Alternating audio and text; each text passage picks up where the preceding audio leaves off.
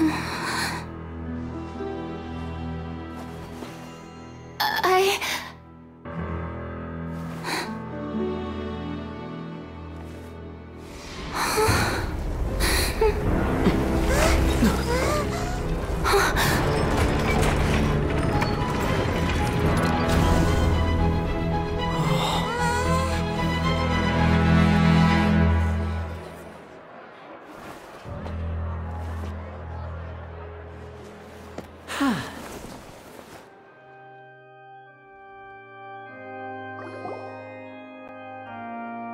Ladies and gentlemen, this concludes my opening performance.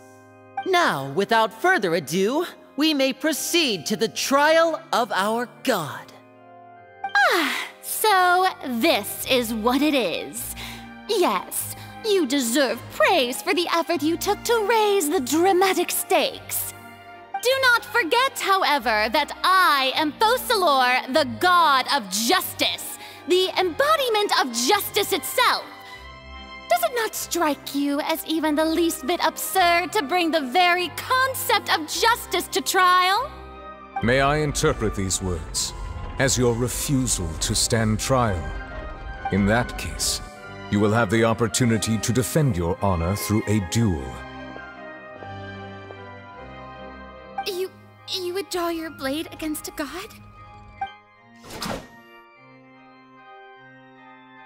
Ahem. I see. It seems like you have made up your mind.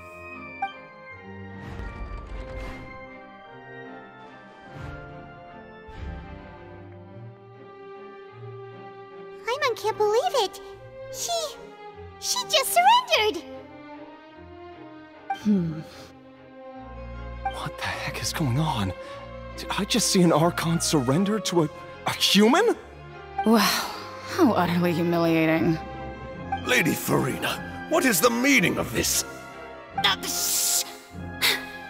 It would seem that there has been a misunderstanding.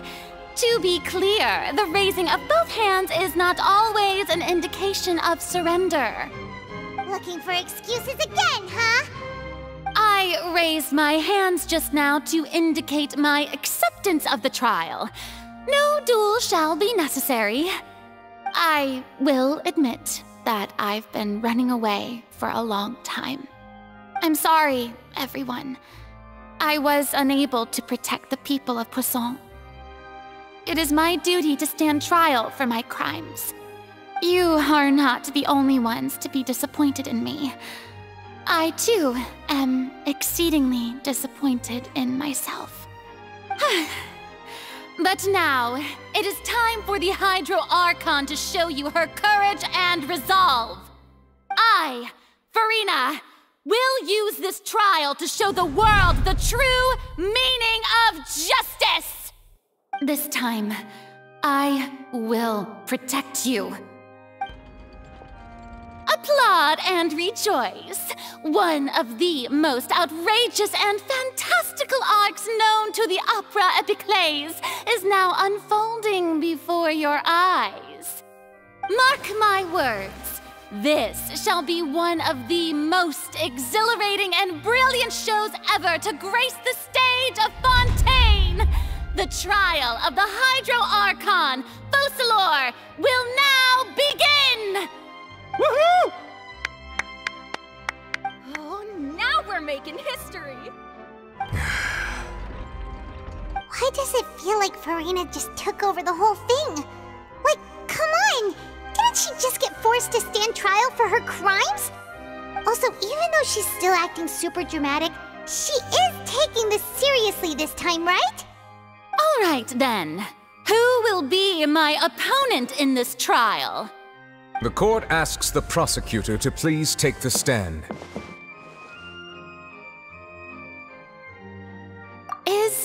That so? Very well. Then please speak, witness of Teyvat, my accuser and fated opponent.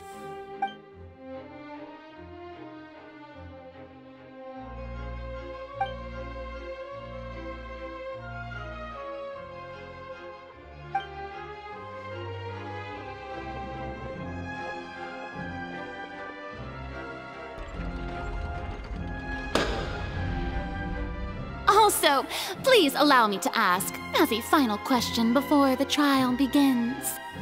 Just how much work did you do to force me onto this stage? Well, we did do a lot of prep after the meeting that day.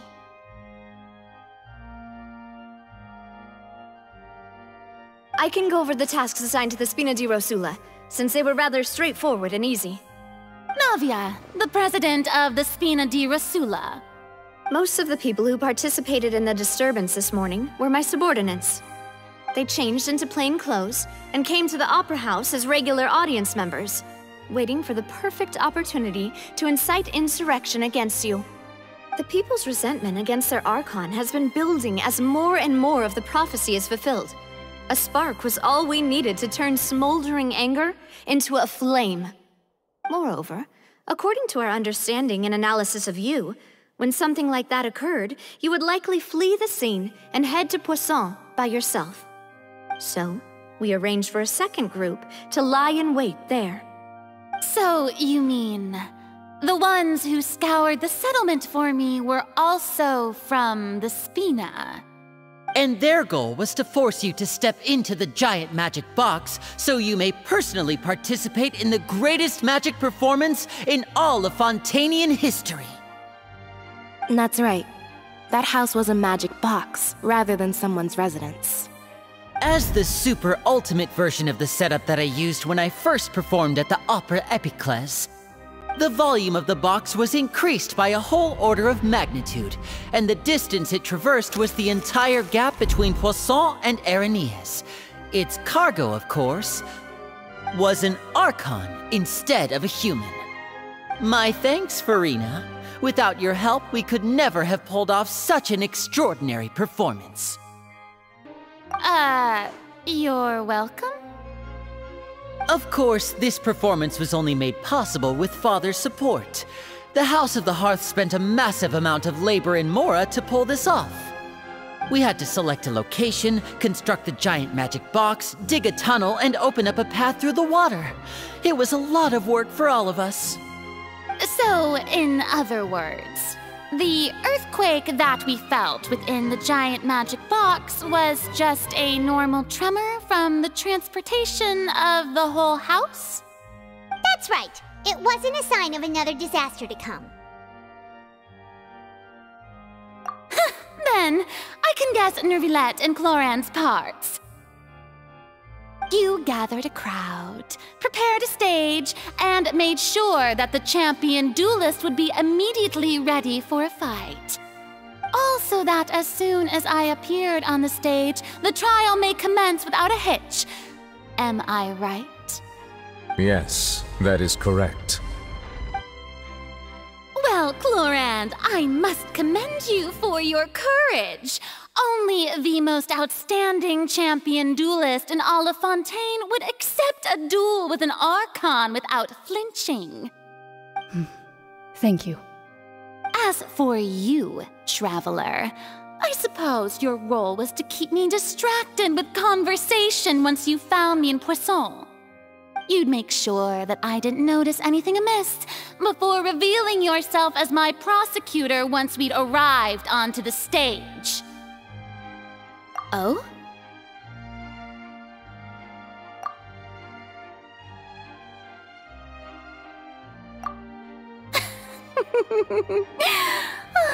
Is that so?